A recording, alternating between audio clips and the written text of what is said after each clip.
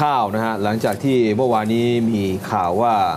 องค์การอาหารและยาของสหรัฐหรือว่า FDA เนี่ยเขามีการกักกันข้าวไทยเพราะไปตรวจสอบพบว่า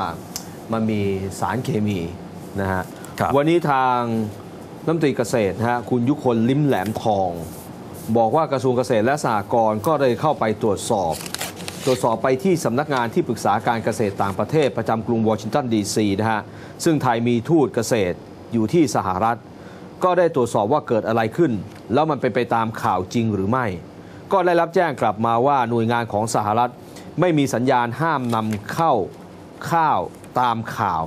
ที่ออกไปก่อนหน้านี้นะฮะตรงนี้อาจจะเป็นข่าวในหนังสือพิมพ์ทำให้ทุกคนสับสนแล้วก็ไม่เข้าใจนะครับ ยืนยันว่าข้าวที่ส่งออกไปมี surveyor คอยตรวจสอบคุณภาพทั้งหมด